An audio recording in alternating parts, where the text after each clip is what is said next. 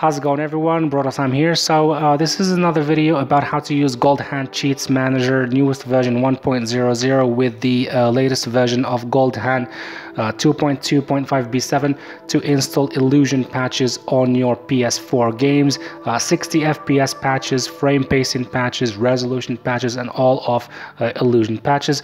Uh, apparently in the previous video it was not working because we were supposed to uh, get a notification uh, and that's because the previous PRX file uh, was not working. Luckily Chameleon has shared a new PRX file that is working now. So uh, let's go ahead and check it out. So if you want to install uh, Illusion patches, the first thing that you have to do is download and uh, install GoldHEN Cheats Manager. I'm going to leave a link to it down in the description. Uh, the next thing that you have to do is connect the PS4 and PC through FTP and then go to the data folder. Okay, open it. Then go to the GoldHEN folder. And now we're going to create a folder here and call it plugins. Okay.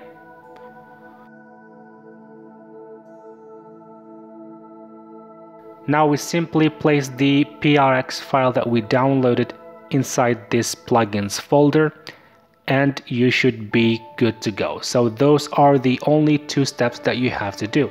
So the first thing I'm gonna do here is check Bloodborne without the patch, okay? So let me just show the frame rates.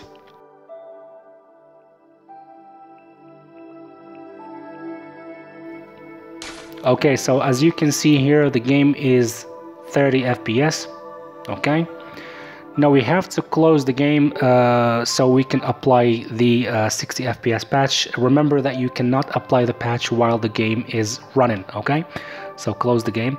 Uh, now we're gonna have to run GoldHEN Cheats Manager. So if this is your first time running the uh, GoldHEN Cheats Manager newest uh, release, uh, the first thing that you have to do is click on Update, okay? So click on Update and let it do its thing.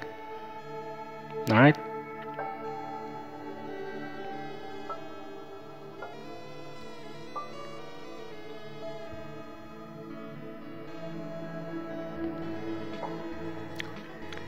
Okay, the cheats have been downloaded to the PS4, uh, MC4 cheats and JSON cheats. Go ahead and click OK and now it's gonna download the patches. 145 patches have been downloaded and uh, installed on the PS4 just click OK. And now we're gonna go to patches. Okay press X. And now to filter we're gonna press on the uh, triangle button. Okay you can just scroll and see what kind of pa patches are available. But you can just press the triangle button and now you have your games here the patches that are uh, available for your uh, own games. So we're gonna go with Bloodborne. Okay. And now I'm just gonna activate I mean enable the 60 FPS patch. And as you can see the patch 60 FPS has been enabled. I'm gonna press OK then we're gonna go run Bloodborne Alright, we should get a notification now that the patch has been applied. Okay, there it is. That's the notification that we were supposed to get in the previous video. And as you can see, the game is now 60 FPS. Okay.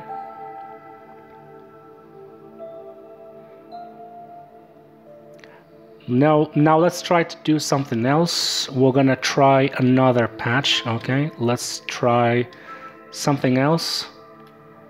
We're gonna try another patch, which is uh, skip the intro, okay? And disable motion blur.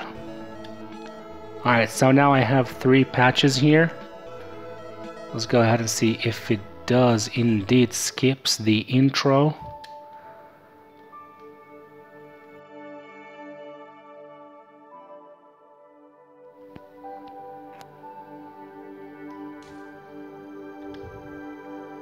Okay. As you can see, we did not get any intro of Sony or FromSoftware. We just got into the menu directly. So this means that the patch is also working. So now we have two patches working the 60 fps patch and the uh, skip intro. So yeah that's all. Uh, take care and I will see you in future tutorials. See ya